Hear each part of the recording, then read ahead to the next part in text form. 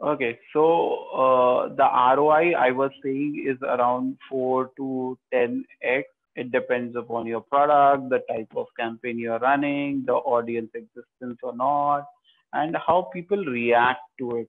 Okay, so it depends completely, completely on that and how effective you are.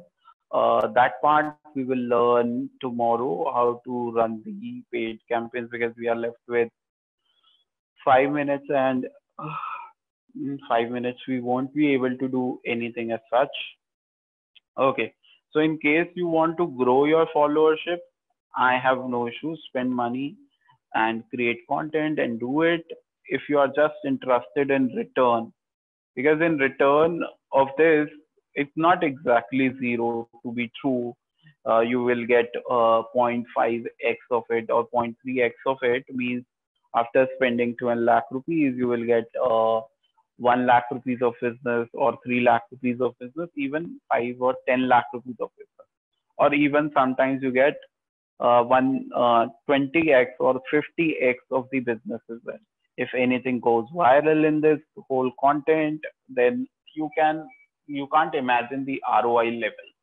Okay, but in case of paid, uh, uh, when you are doing if your product is worthwhile uh, this uh, uh this audience exists generally you generate 4x uh, to 10x kind of returns from facebook campaigns because their audience is very fine and good so generally this is the roi level.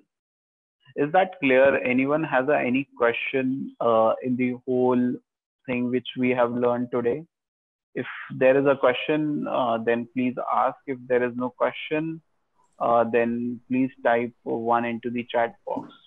Yeah, Aditya, go ahead, please.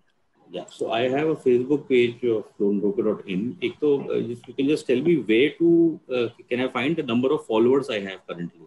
I mean, on this. Go, uh, go into the insights over there, you will find it.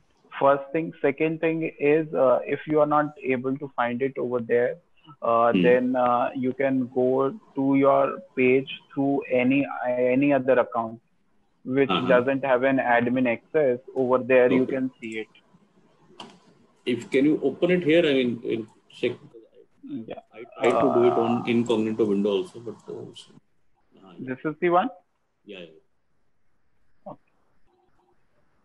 so as i don't have access to it So here you see. Okay, one and two on page four.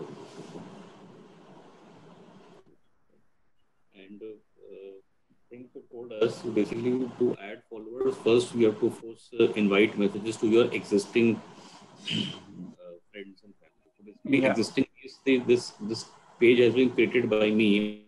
So my individual friends. Uh, yeah, correct and the groups that you are saying that that who will who will add i mean who will become part of the groups aditya gupta or the loan broker aditya gupta Acha. and then what happens like after i become part of those groups i have to promote you can you can promote your content and then over mm-hmm. there you will get uh, people will start liking your page and all mm-hmm.